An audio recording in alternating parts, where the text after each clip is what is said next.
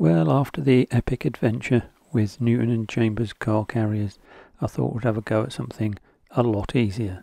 So let's have a look at this 21 ton coal wagon by Parkside Models, part of now part of the Peco group. Out of the packet, it's the same as all of this series of models.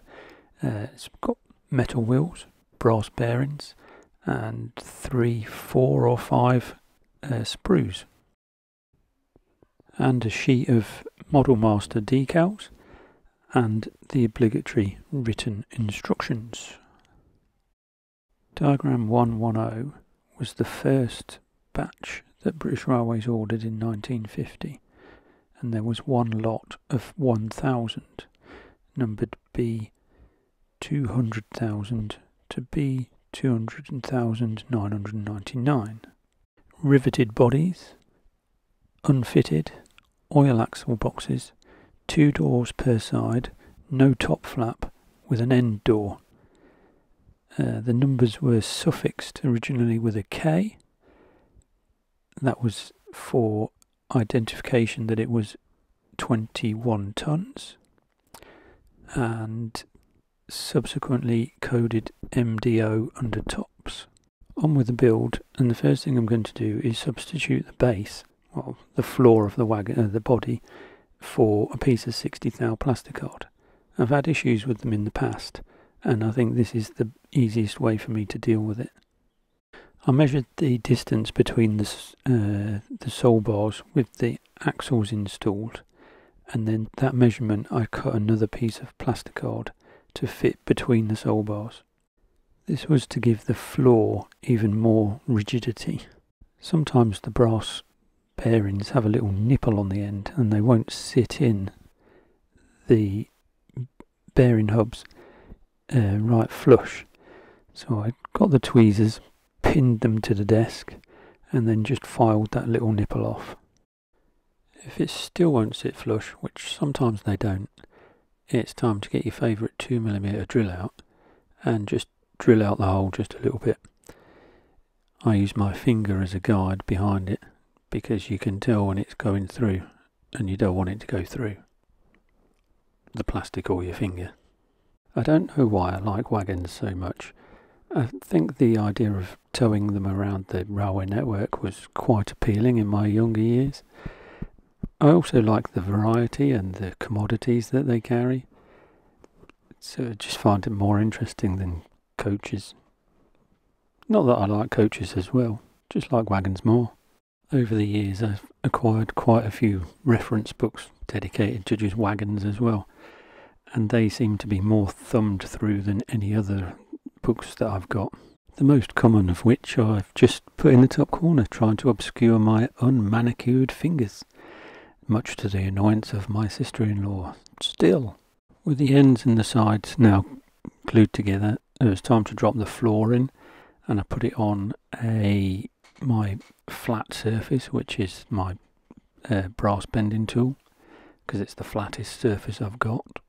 If the body's square and flat, it'll make it a lot easier to get the uh, the sole bars and the wheels flat. There's that other piece that I cut out earlier. That's going to keep the sole bars at the, the correct spacing.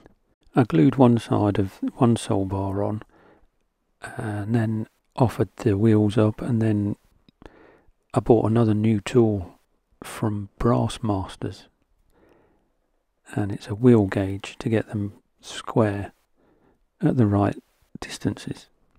I'll leave a link in the description for that one because it is a really nice new tool.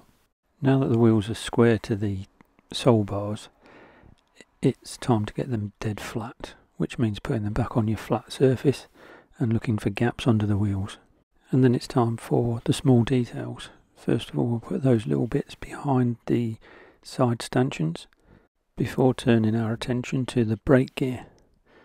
Now there's two V's on each side. There should be one on one side and two on the other. So it's quite important to get this the right way round, otherwise you'll have the body essentially the wrong way round.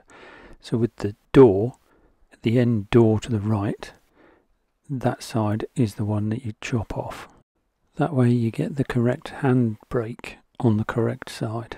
Brake gear will come into play in the next videos in this series. Essentially, there's four different types of these vehicles, and each one is quite different.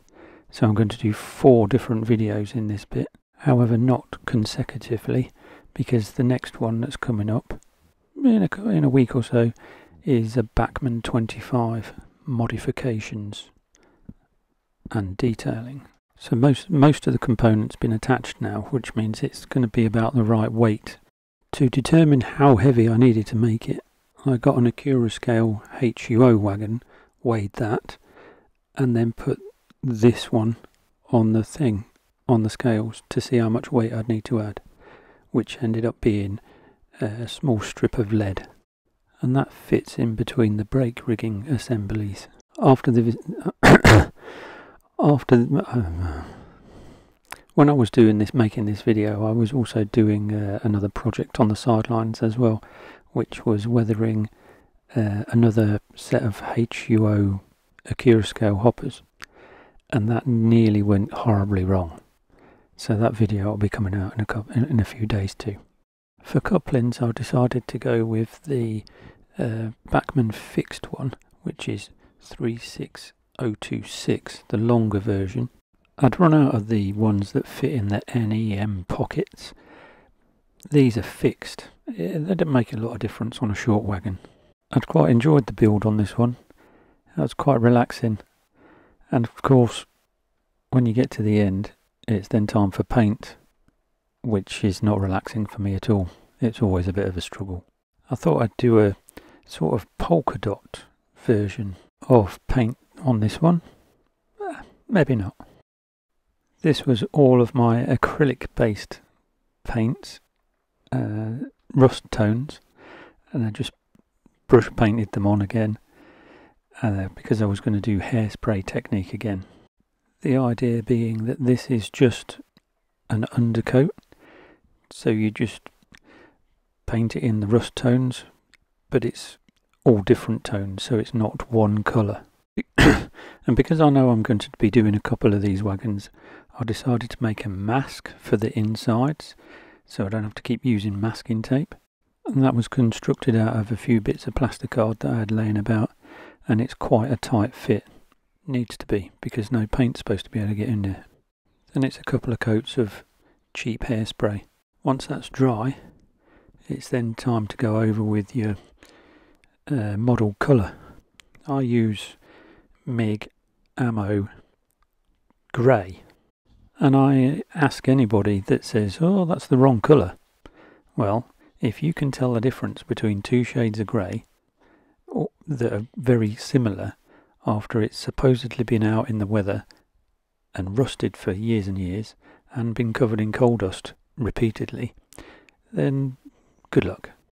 I also wasn't worried about the overspray, so I didn't bother uh, masking off the, the lower half of the chassis because this would bleed into the effect that I was going for. In close up it shows what a dodgy white line that is I've painted on the end as well.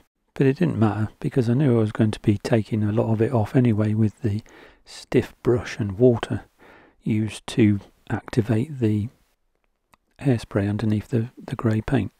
Decals were next. Well, the three that, that I put on. And then it was a clear coat to protect everything.